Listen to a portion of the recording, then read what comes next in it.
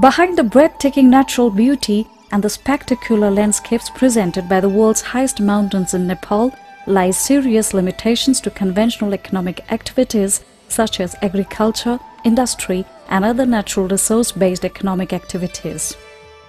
The country is renowned for its diverse ethnic and cultural heritage, vast water resources, biodiversity and yet it is among the least developed countries in South Asia. Development potential is seriously undermined by rapid degradation of natural resource base.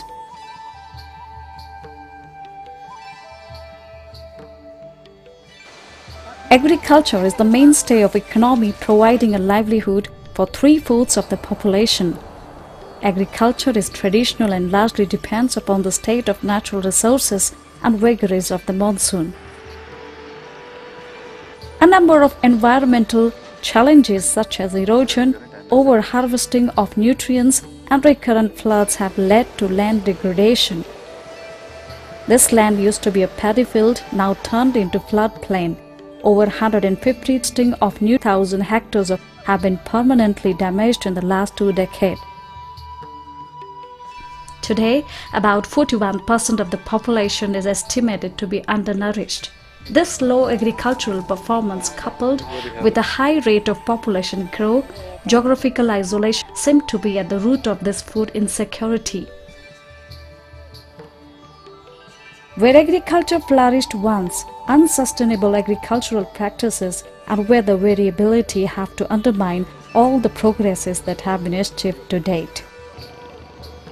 The Panchkhal Valley produced 60% of the vegetables supplied to Kathmandu now is drying out. River have ceased to flow and farmers have to use water pump for planting rice. यस्तो मध्य बर्खा भइसक्यो र पनि मूल फुट्ने पानी परेकै छैन।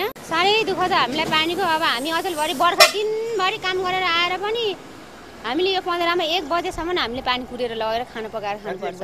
हजुर राति रातको एक बजे दिउँसो त होइन। हिउँदामा त हामी कतिखेरै सुत्दैनौँ खालि।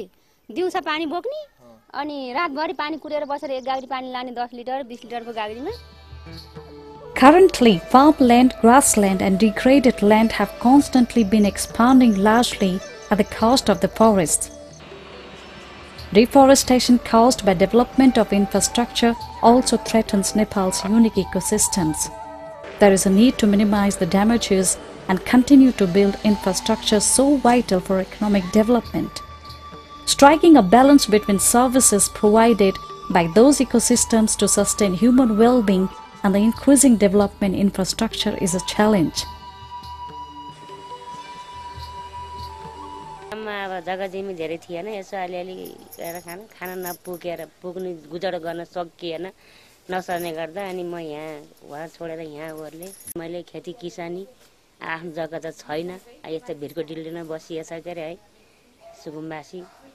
अनि अझिया कुदिया हुन्छ कि कसरी हुन्छ गरेर खेती किसानी गरेर अनि छोरछोरी पालनी गरेछु। पुगेन सर त्यही नपुगेको कारणले गर्दा हामी सहरतिर लागेको हो। तिन चार महिना छ महिनासम्म धान्छ। सहरमा आएपछि केही गरिन्छ होला। अब त्यही त अझ जागिर पाएसम्म जागिर गरेला। नपाए पनि अब केही काम गरेर भए पनि अब बालुवासोला पुगेर हुन्छ या केही कबड्डी सबडी टिपेर हुन्छ। जुगाड त गर्न सकिन्छ कि भनेर सहरतिर लाग्यो। As a result of the low economic performance of sectors linked to natural capital, the economy of the country has increasingly been supported by remittances contributing about a quarter of the GDP. Over 1500 youth head for foreign employment every day.